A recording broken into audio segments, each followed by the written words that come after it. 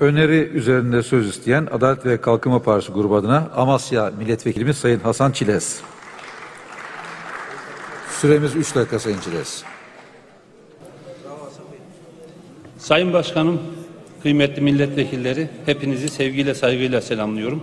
İyi Parti grup önerisi adına e, İyi Parti grup önerisi hakkında konuşmak üzere huzurlarınıza gelmiş bulunuyorum. Öncelikle enflasyon nedir? Enflasyon en önemli ekonomik istikrarsızlık hallerinden bir tanesidir. Mal ve hizmet fiyatlarının genel ve sürekli olarak artışını ifade eder. Ülkede yaşayan herkesi de ilgilendiren bir olgudur. Sadece belirli bir mal veya hizmet değil, fiyatlar genel düzeyinin sürekli hissedilir olarak artışıdır.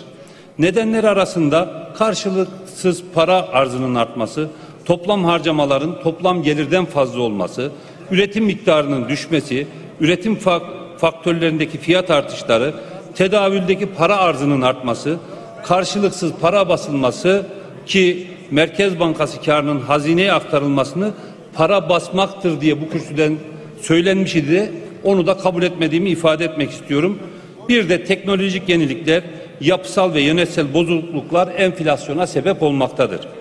Enflasyonla mücadele bu sebeplerle hepsini düşündüğümüz zaman enflasyonla mücadele topyekun bir mücadeleyi gerektiriyor. 2018 yılında da aziz milletimiz enflasyonla topyekun mücadelenin en güzel örneklerini vermiştir. Devlet kurumlarımız, özel sektörümüz ve bizler de bireysel olarak ülkenin vatandaşları olarak da üzerimize düşen sorumlulukları yerine getirerek enflasyonla mücadeleye destek vermeliyiz. Genelde iki çeşit enflasyon var. İktisatçılar maliyet ve talep enflasyonu olarak bunu adlandırmışlardır. Biliyorsunuz e, maliyet enflasyonu fiyat artış e, üretim faktörlerindeki fiyat artışlarının maliyetleri artırması sonucu ortaya çıkmaktadır. Talep enflasyonu ise en yaygın bir tür olup üretimin az, talebin çok olmasıyla ortaya çıkmaktadır. Ancak ülkemiz geçen yıl maruz kaldığı ekonomik saldırı sonrası bu temel iki enflasyon türüne bir de benim fırsat enflasyonu dediğim bir türle tanışmış oldu. Dövizdeki artışlar sonrasında ürünlere yapılan zamlar fiyatların dövizdeki fiyatların gerilemesiyle birlikte geri yapılan bu zamlar alınmamış ve burada suni bir enflasyonda gündeme gelmiştir.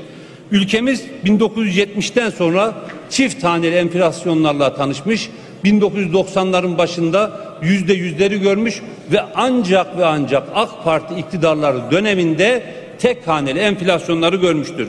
İyi Parti grup önerisi de tek haneli enflasyona alışık olmayan bir anlayışın tezahürü olarak verilmiştir diye düşünüyorum. 2002'de yüzde 30 olan enflasyon oranı enflasyonla mücadele kapsamında doğru politikalar ve yapısal değişimlerle tek haneli rakamlara iktidarlarımız döneminde düşürülmüştür. Enflasyonla büyüme modeli AK Parti döneminde vazgeçilerek reel ekonomiye geçiş sağlanmıştır. Düşük enflasyon ve yüksek kalkınma hızları ile ülkemiz Tamamlayalım Sayın Çiles. her alanda büyük geliştirme göstermiş, eğitimden sağlığa, ulaştırmadan sosyal politikalara, tarımdan sanayiye tüm sektörlerde büyük gelişme gösterilmiştir. Böylece Türkiye bölgesinin ve dünyanın en güçlü ülkelerinden biri olmuştur. 2018 Ağustos ayında döviz üzerinden maruz kaldığımız saldırı ekonomi yönetimimizin gayretleriyle savuşturulmuştur. Ekonomide yapılan programla bir yıllık dengelenme süreci başarıyla tamamlanmış ve meyvelerini vermiştir. Enflasyon 2019 Eylül ayında tek haneleri görmüştür. Asıl olan bunun sürdürülebilir olmasıdır.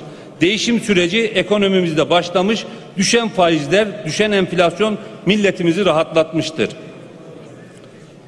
Ancak Eylül ayında açıklanan rakamları TÜİK güvenilirliğini ortaya koyarak speküle etmek çok vahim bir durumdur.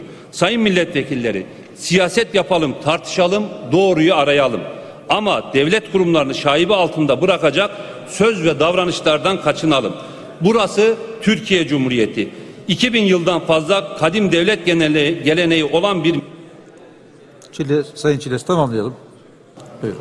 2000 yıldan fazla kadim devlet geleneği olan bir milletin temsilcileriyiz. Bunu ve bunun bize yüklediği sorumluluğu asla unutmayalım. Enflasyon yüzde yirmiye çıkınca TÜİK güvenilir, yüzde dokuza düşünce TÜİK güvenilir değil. Bunu söylemek çok doğru değildir, inandırıcı değildir. Kurumlarımızı günlük siyasi polemik konusu yapmayalım. O bu sebeple önergenin aleyhinde olduğumuzu belirtiyorum. Bu arada Sayın Başkanım, değerli milletvekilleri ve aziz milletimiz, Barış Pınarı harekatımız başladı. Barış Pınarı harekatında görev alan askerlerimizi Rabbim muhafaza ve muzaffer eylesin. Demokrasi, insan hakları, barış, savaşa hayır söylemleri ve sevgi pıtırcığı tavırlarla terörü perdelemeye çalışanları kınıyorum. 20 bin tırdan fazla silah silaha ses çıkarmayanların bugün bağırışlarını da çok anlamlı bulmuyorum. Türk milleti hiçbir zaman zalimin ve zulmün yanında yer almamıştır. Her zaman zalimle ve zulümle mücadele etmiştir. Tarihteki şanlı yürüyüşünde hiçbir sabıkası olmayan tek millet Türk milletidir. Gittiği yere adaleti, huzuru ve insani değerleri götürmüştür. Peki. Buyurun son cümlenizi söyleyin Sayın Çiles. Gittiği yere adaleti, huzuru ve insani değerleri götürmüştür. Suriye'de de bu böyle olacaktır. İnşallah barış pınarları Fırat'ın doğusunda çağlayacak, yurtta ve dünyada barışa akacaktır. Rabbim Mehmetlerimizi muhafaza eylesin. Sefer bizden, zafer Allah'tandır. Gazi meclisimizi ve aziz milletimizi saygıyla selamlıyorum.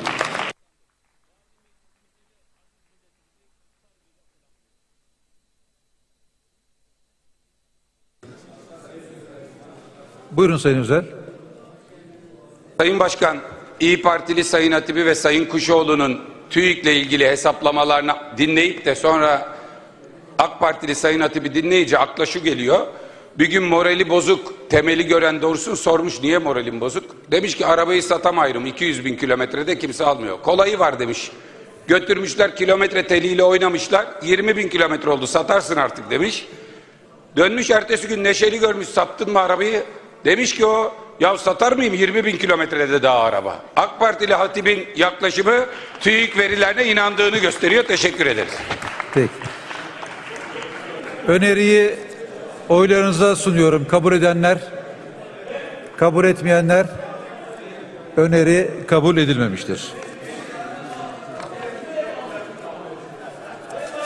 Değerli arkadaşlarım biraz sessizlik olsun lütfen. Değerli arkadaşlarım biraz sessizlik rica ediyorum.